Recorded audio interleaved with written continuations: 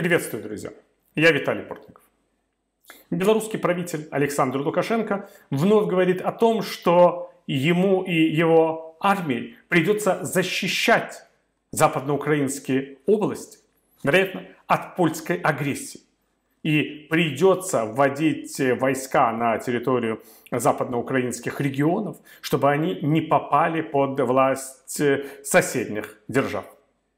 Это не просто шизофреническое заявление Лукашенко.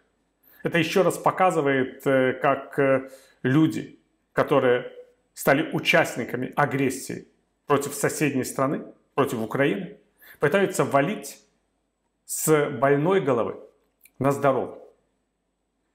С белорусской земли Украину обстреливают ракетами. С белорусской земли приходили каратели, которые убивали пытали, насиловали и грабили в Буче и других городах э, на севере Украины.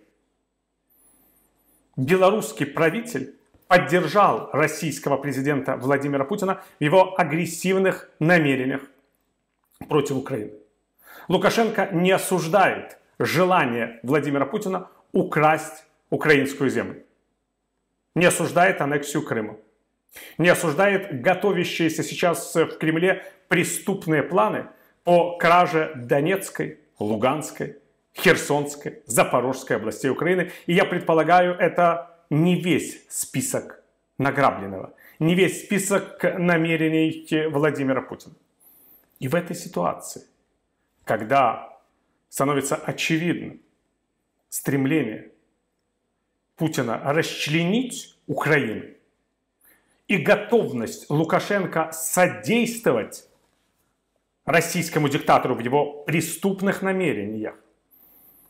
Лукашенко обещает защитить западноукраинские области от польской или какой-нибудь еще, наверное, оккупации.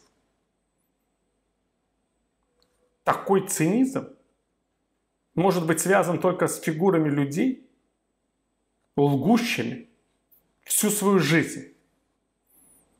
Если бы Путин и Лукашенко играли бы в Пиноккио, им нужна была бы целая гвардия, чтобы носить тот нос, который бы вырос у двух этих отвратительных персонажей из-за постоянной, беспрестанной лжи.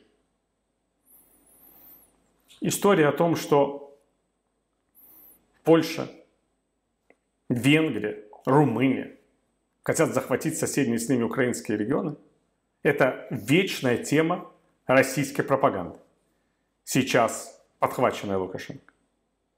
Тот факт, что соседние с Украиной страны, члены НАТО, члены Европейского Союза, что само участие в этих организациях предполагает полный и безоговорочный отказ от любых территориальных претензий, естественно, российских пропагандистов не убеждает. И Лукашенко тоже. Тот факт, что общественное мнение в той же Польше безоговорочно на стороне Украины в войне, которую Россия при участии Беларуси устроила на украинской земле, тоже никого, естественно, не убеждай.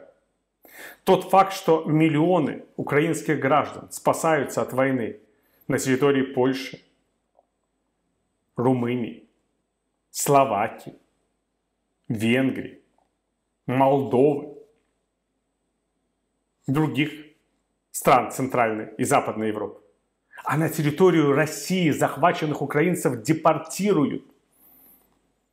И они потом пытаются выбраться – те, кто могут, разумеется, из России в нормальный мир, тоже, разумеется, российскую пропаганду и таких, как Лукашенко, не убеждает. Я думаю, что дело на самом деле не только в лжи, а в том, что эти мерзавцы судят по себе. Они готовы, вся их жизнь из этого состоит, нанести удар в спину. Вот так как действовал их кумир Иосиф Сталин, в 1939 году, когда после сговора со своим другом и соратником Адольфом Гитлером нанес удар в спину Польши. И Лукашенко считает, что сейчас, когда все украинские войска отражают опасность на востоке страны, когда они стараются защитить Донбасс и юг Украины от жестоких российских оккупантов, от убийц и насильников. Почему бы Польша? Почему бы Венгрия? Почему бы Румынии не нанести удар в спину Украины? Уж он-то, Лукашенко, с удовольствием нанес бы, была бы у него такая возможность.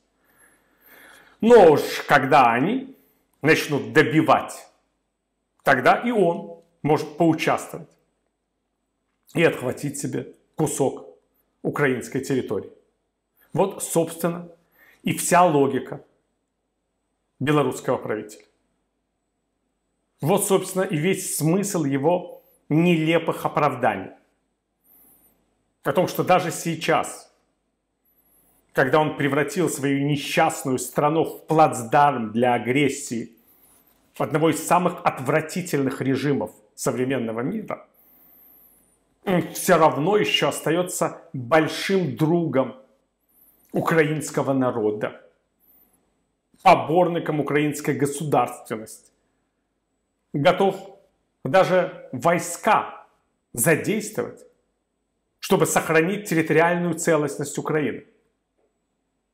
Так задействуйте, Александр Григорьевич. Почему ваши войска на территорию Беларуси не начнут бить российских оккупантов? Почему белорусской армии не выдвинуться в сторону Донбасса и вместе с украинскими войсками не уничтожать российские вооруженные силы? Если хочется сохранить территориальную целостность Украины, бить надо российских оккупантов. Бить надо по Владимиру Путину, с которым вы так часто встречаетесь.